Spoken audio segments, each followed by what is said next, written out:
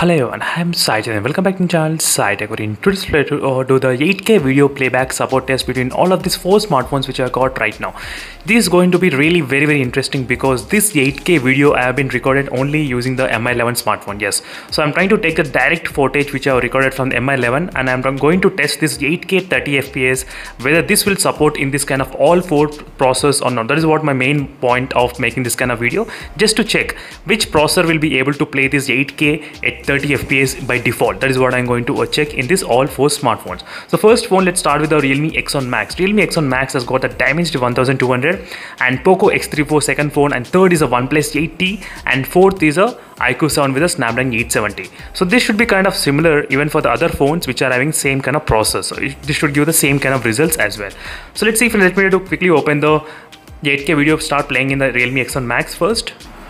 So is the exact same photo I'm trying to play which is a 8K photo which I recorded using the Mi11 smartphone. And the video you can see it's not uh, playing very smooth no? It's not playing smooth and even the audio keeps on stopping and it's it's coming. Let me do forward and backward. This is only one minute clip only one minute clip. As you can see it's not playing 8K video it's not playing at all using the same footage no you can hear the sound but you cannot see the footage is moving. So this footage 8k video 30 fps is not working in the realme x1 max with a dimensity 1200 processor. This is a dimensity 1200 as you can see. You may say like yes uh, obviously we, nowadays we don't get the 8k footage at all but still i just want to push the limits for the process. That is what my main motive friends. So try to understand my videos then you will definitely you'll be able to uh, identify which phone has got what type of performance. And resolution 7680 into 4320 30 frame rates as you can see. And the bitrate also you can see 130 bit rates. That's kind of really high bitrate that's the reason why i did say this is going to be really interesting test.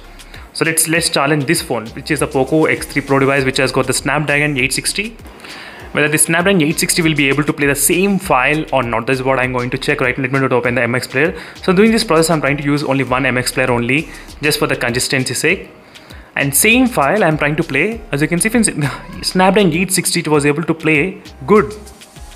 Not bad at all as you can see. It, at least it played a little bit and later on it stopped. I can hear the sound coming but not the video moving. Let me try to change the codec and let's see what will happen if I try to change the software codec. The seconds is going but it's not playing no.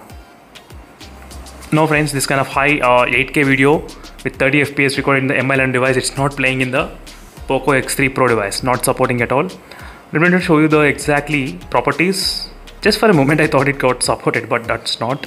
7680 into 4320 and 30 frame rate. Same kind of file I'm trying to use. Same file. Just for a second I thought it got played in this phone but that's not the case. So let me to move to the next phone which is the OnePlus 8T so let's see friends OnePlus 8T whether it will be able to support or not and this exact same footage which I'm trying to use in the Snapdragon 865 Snapdragon 865 which is in the OnePlus 8T smartphone as you can see it's the OnePlus 8T and the video was able to play perfectly fine. Even with the audio not bad.